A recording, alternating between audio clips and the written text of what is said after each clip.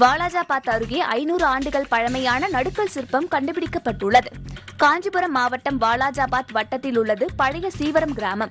இக்கிராமத்தில் ஐநூறு ஆண்டுகளுக்கு முற்பட்ட விஜயநகர மன்னர் காலத்தை சார்ந்த குறுநில மன்னர் ஒருவரின் மெய்காப்பாளர்கள் இருவரின் நினைவாக நடுக்கல் எழுப்பப்பட்டது.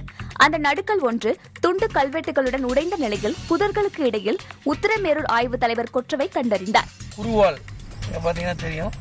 குருவால் காமிச்சிருக்காங்க. கால்கள் நிற்கிற மாதிரி இருக்குது இந்த பக்கமும் உடஞ்சிருக்குது இந்த பகுதியும் உடஞ்சிருக்குது. ஆக மொத்தம் வந்து இது ஒரு நடுகள் ரெண்டு வீரர்கள் தன்னுடைய மன்னர்கள் உயிரை காப்பாற்றுவதற்காக மெய்க்காப்பாளர்களாக இருந்தவங்க உயிரை விட்டதை நினைவாக எடுத்திருக்க நடுகள் தொல்லியல் துறையினர் உடனடியாக கவனம் செலுத்தி அதை பாதுகாத்திட நடவடிக்கை மேற்கொள்ள வேண்டும் என சமூக ஆர்வலர்கள் கோரிக்கை விடுத்துள்ளனர்.